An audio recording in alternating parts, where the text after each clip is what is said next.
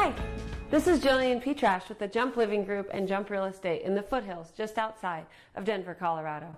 I'm here today to answer the question what should I do to prepare my house for sale? Well, maybe nothing, but more than likely quite a bit, especially if you're looking to gather top dollar for your home in this extreme seller's market. You've got to make sure that you have your home prepared to attract the highest number of buyers to generate the most offers. So, what do you need to do for, to prepare your house? Number one, repairs.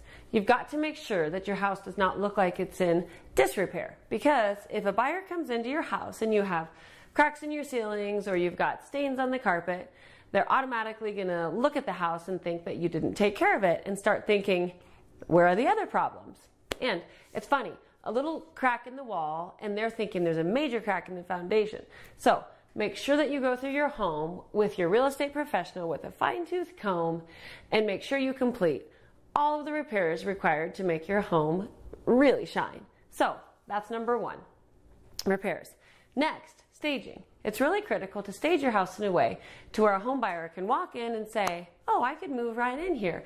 And this is really, really important because most people don't have the imagination to be able to place their family and their furniture throughout the house. So you have to make this easy for them to do that.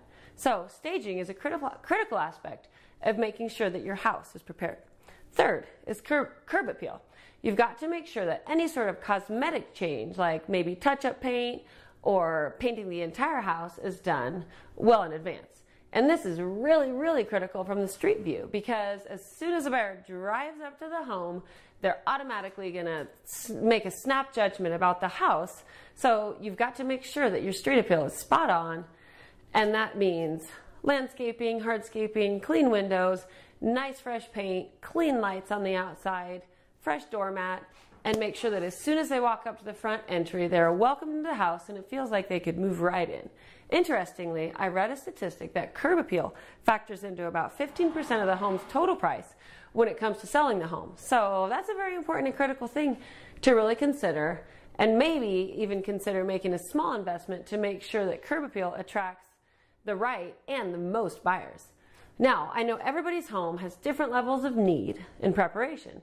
Some may require a lot of work and some may not need much at all. So, if you'd like a free consultation to learn what your home needs in order to prepare it for the highest dollar in the marketplace right now, all you need to do is send me a message and I'm here to help. My contact information is below. Thank you.